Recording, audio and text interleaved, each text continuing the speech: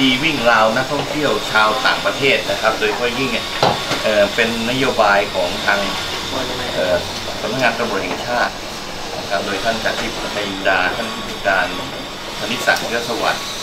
นะฮะแล้วก็ได้สั่งการให้กับให้ในเรื่องของการดูแลความปลอดภัยนักท่องเที่ยว ก็ในรายนี้เนี่ยนะครับผู้ต้องหานะครับคือนายสุรศักดิ์อินทรัตน์เนี่ยเป็นคนจังหวัดแม่ฮ่องสอนนะก็ได้ก่อคดี จริง ๆ แล้วเนี่ยมี6คดีนะ แต่ตอนนี้หลักฐานตอนนี้เราตามได้ตามได้อยู่5คดีนะครับ เป็นเขตที่เป็นรับคดีเนี่ยในเขตเมืองเนี่ยสคดี แล้วก็ของทั้งเผือกนะตรงไหนของเขตเมือง5คดีของเขตเมือง4นะครับ แล้วของทั้งเผือกหนึ่ง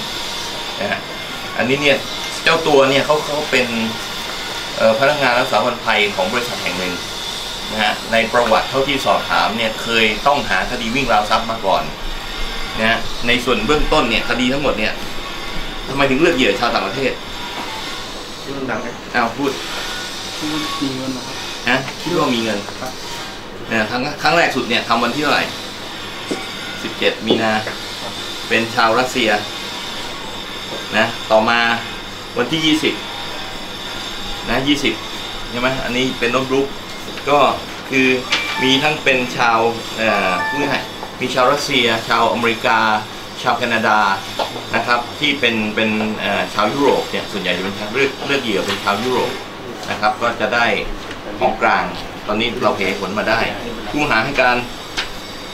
รับสารภาพหมดทุกคดีอ้าวมีอะไรจะบอกสื่อมวลชนบ้างนะปีติดคุกปีไหน ตอนที่ติดนะครับอ่ารักทรัพย์รักทรัพย์วิ่งราวทรัพย์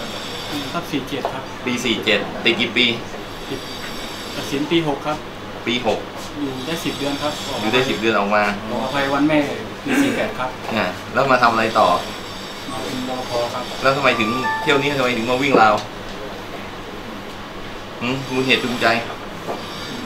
ตังค์ไม่พอใช้ครับ ตังค์ไม่พอใช้ ง่ายดี ส่วนหนึ่งที่ได้ก็เป็นเรื่องตามในเรื่องของกล้องวงจรปิดตามโครงการ Police Eye นะครับ ก็ ในส่วนนี้นะที่ได้ได้แกะรอยส่วนหนึ่งก็จากกล้องวงจรปิดอีกส่วนหนึ่งก็เป็นความสามารถของตำรวจสืบสวนเมืองล้วนๆนะครับ ที่ติดตามจับกลุ่มคนร้ายรายนี้มาดำเนินคดีได้คิดว่าน่าจะหมดแล้วในเรื่องของวิ่งราวนักท่องเที่ยวชาวต่างประเทศนะครับแล้วทรัพย์สินที่ได้นะทำไมต้องเอาไปขายอ้าวอ้าวอธิบายหน่อยเอาตอบครับนะตอบพอดีประเด็นเจ็ดสีหน่อยขายไม่ได้ครับผม ไม่มีคนซื้อหรือยังไง มันไม่มี ID ID Apple ครับ ไม่มี ID Apple เปิดเครื่องไม่ได้ครับเขาเลยไม่ซื้อครับโอ้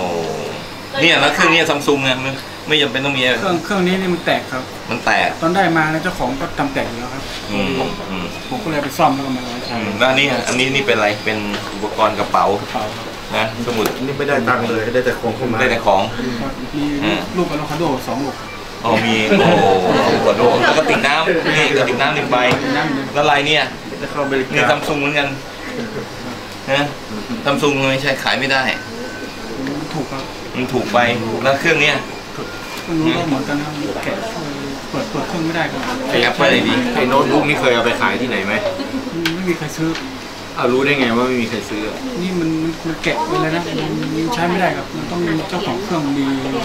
มีรหัสครับเราเราเคยทดลองเปิดแล้วถ้าเราไปขายแล้ว อ๋อทดลองไปขายแล้วมันไปขายที่ไหนอืมมันเปิดเครื่องแล้วก็ใช้ไม่ได้เอาไปลองขายที่ไหน ที่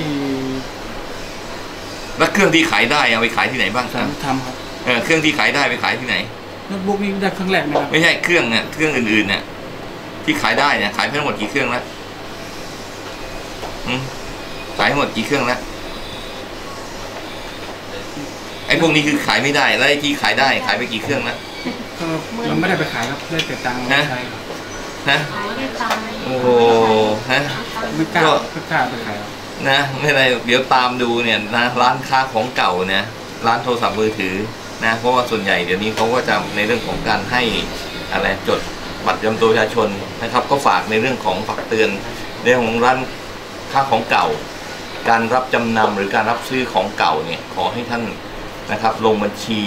ให้เรียบร้อยนะครับ แล้วท่านต้องมีใบอนุญาตเพราะถ้าไม่มีเนี่ยท่านจะถูกดำเนินคดีเพิ่มเติมในเรื่องของข้อหารับของโจรครับตรงนี้ก็ฝากเพิ่มเติมไว้ด้วยครับ เลือกเหยื่อที่เป็นสุภาพสตรีเป็นชาวยุโรปนะครับ เพราะว่าทรัพย์สินที่ได้ไปก็จะเป็นส่วนใหญ่ก็จะเป็นกระเป๋านะครับกระเป๋าสะพาย ข้างในก็จะมีทรัพย์สินมีกระเป๋าสตางค์แล้วก็ในส่วนของโทรศัพท์มือถือนะครับส่วนนึงเนี่ยเราก็ทรัพย์สินที่ได้มาเนี่ยตอนนี้ขยายผลเบื้องต้นได้ 5 คดี แต่เราเชื่อว่าทำมากกว่านี้นะครับ เพราะว่าจากการที่สักถามเขาเนี่ยก็คือทรัพย์สินที่ขายไม่ได้นะครับเราก็จะเอาในเรื่องของชื่อของเขาเนี่ยไปตรวจสอบร้านค้าเก่าอีกทีเพื่อจะขยายผลเพิ่มเติมครับ หรือว่าในเรื่องของถ้านะครับฝากเตือนในเรื่องร้านค้าของเก่านะครับในเรื่องของการรับจำนำอย่างหนึ่งท่านจะต้องมีใบอนุญาตทำเก่าให้ถูกต้องสองใน เรื่องการรับจำนำเนี่ยเขาขอให้ลงชื่อลงทะเบียนในเรื่องของผู้ที่มาจำนำให้ถูกต้องตรวจสอบบัตรประจำตัวประชาชน ก็จะเป็นประโยชน์สำหรับเรื่องการที่จะติดตามทรัพย์สินที่ถูกทุสรายไปครับ